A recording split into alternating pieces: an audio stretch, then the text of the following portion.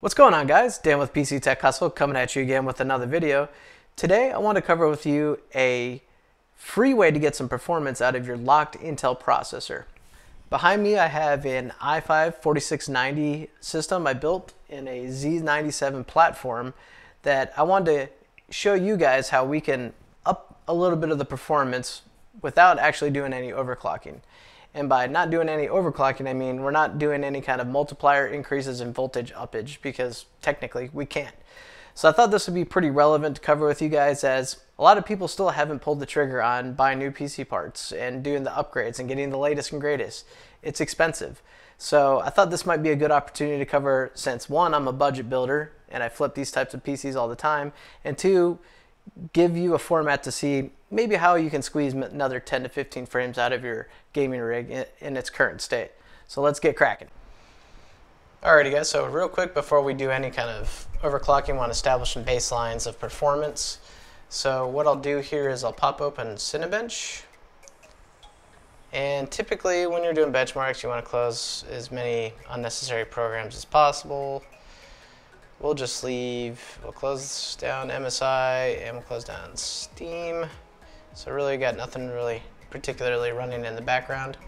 So let's give this a quick run.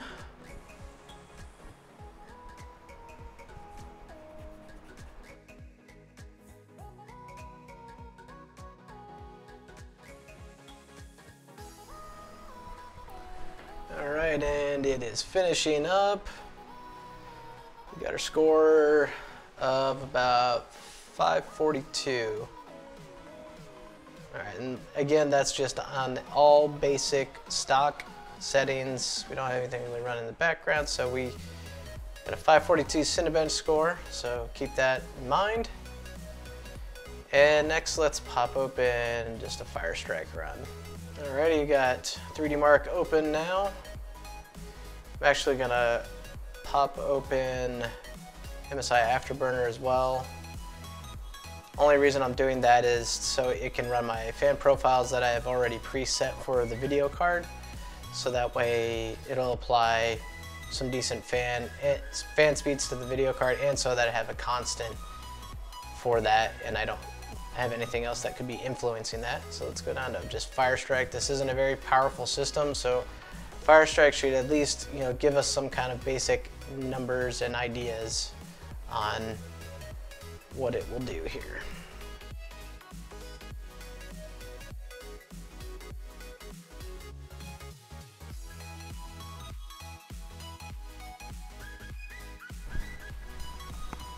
Alrighty, we are all finished up with the benchmark and Firestrike with a total score of 9,569 graphics score of 12,674, and physics score of 6991.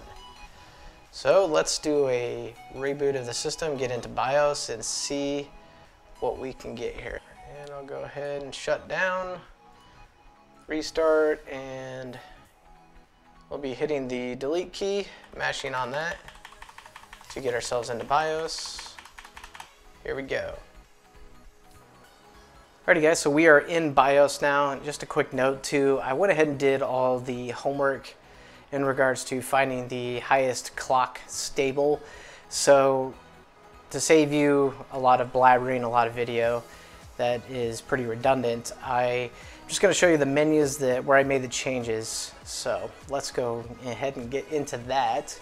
So right here, we're just in the main page with all the defaults laid out. You can see my processor, is the 4690 Z97 Killer um, ASRock board running at 3.5 gigahertz. So most boards are going to be relatively relatively the same as far as how to navigate to certain particular items. Z chipset boards obviously are going to have a lot more overclocking features, but you want to navigate to uh, on this particular board the uh, OC tweaker. There may be something, again, as I mentioned, depends on your, your manufacturer board, but something similar to this. But here, what we want to do is we want to adjust our CPU ratio. First, we want to select that we want to make the, the application changes to all cores. So we'll just select that. And then once we do that, a new window unlocks with giving us the ability to set a multiplier. So 35 is the default, as that's the base clock of the processor. We're gonna just hold down the plus key to get the maximum value that the processor actually operates. So the 39 is 3.9 gigahertz or in essence the max turbo clock of the processor.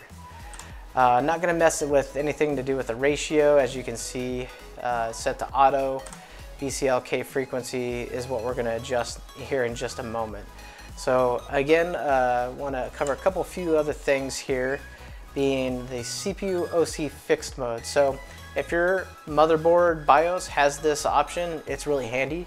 And what it effectively does is it disables Intel SpeedStep technology and Intel Turbo Boost technology.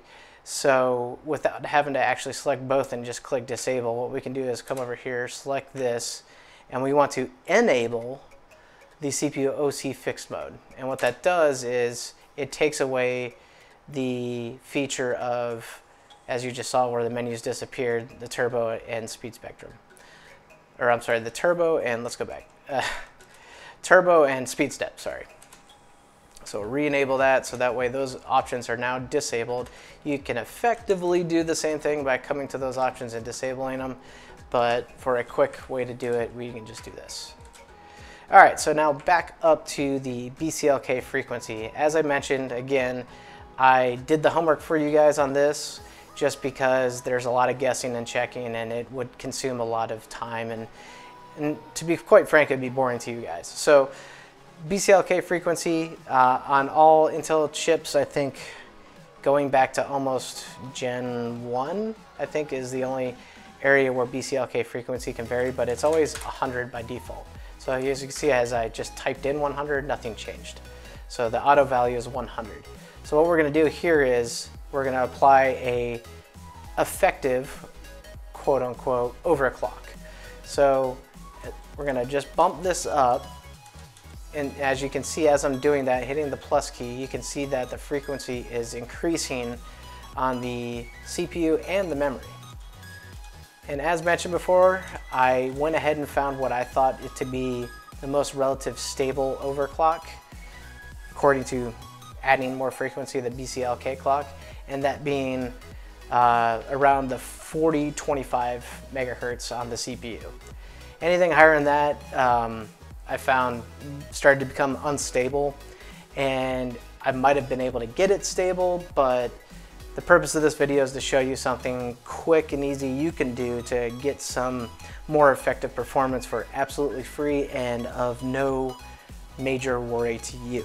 So once those settings are, are pumped in, that's literally all we have to do. We're not messing with voltage, we're not messing with DRAM frequency. We're not messing with any of this stuff like you normally would with a unlocked processor where you can really take the CPU to a much higher clock speed. So we're gonna hit F10 to save our settings and apply them and do a reboot. And we will be going into Windows here in just a second. Alrighty, we are booting into Windows and here we are. So one thing I like to do initially when I apply an overclock is just do some verifications that things are still operating within Windows. So a quick easy way to do that is just come over here to CPU-Z, pop that open. So as you can see, we're at our maximum clock speed. We're hitting around the 40, 25 to 27. All right, so let's close that down. We don't really need that right now. So let's pop open Cinebench. And this is where we're just going to give a uh, just a base stability check to ensure that what we did, one, took effect and is not, you know, unstable. So I'm going to let this run a few times. In fact, what I usually do is I let it run about three, four times. Make sure that the scores kind of remain within sight of each other. And if I get through all three, four tests, then we'll move on to Fire Strike, which is a lot more intensive Additionally, you know, I'll, I'll recommend some other programs to solidify that you are indeed 100% stable. So we'll circle back on all that here in a moment.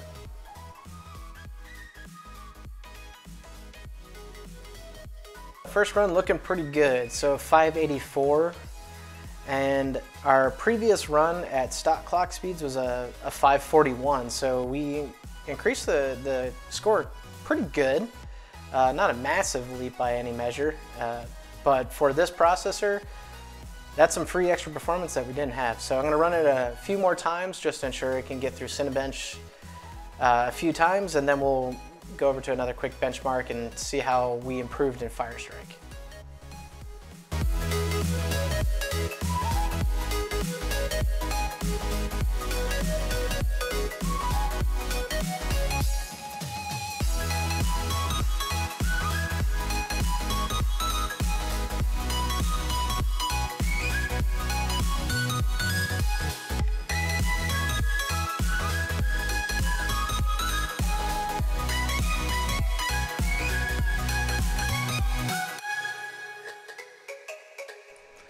All right, so there are about three to four runs, and we are looking pretty good.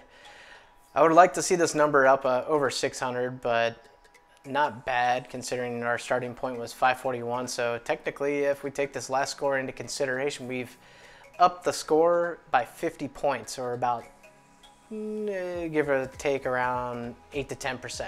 So not bad, um, especially considering we haven't really done a whole lot of anything. So we're gonna close down Cinebench and see what these scores net us in Firestrike, as that's gonna be a bit more intensive. It's gonna it's a better synthetic benchmark, runs longer, all the, all that stuff. So we're gonna go ahead and run Firestrike just to uh, ensure stability once and for all, and more or less we're gonna look at it to see what kind of improvements we've made with just bumping the clocks there as we did.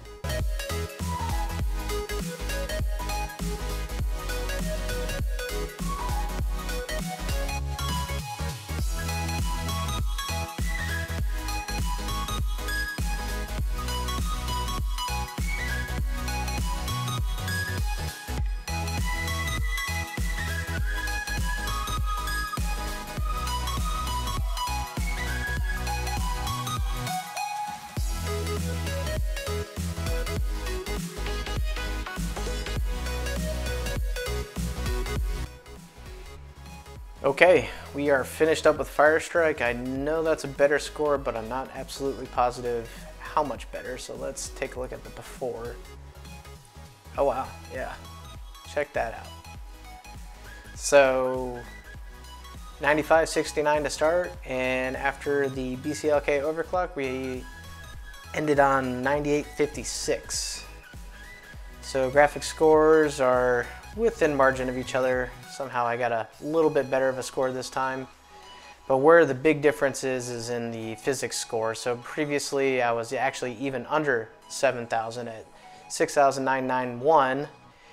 And now with the physics score on the new score, we're at 7,676. So we bumped up nearly 700 points there on the the graphics, or I'm sorry, the CPU score.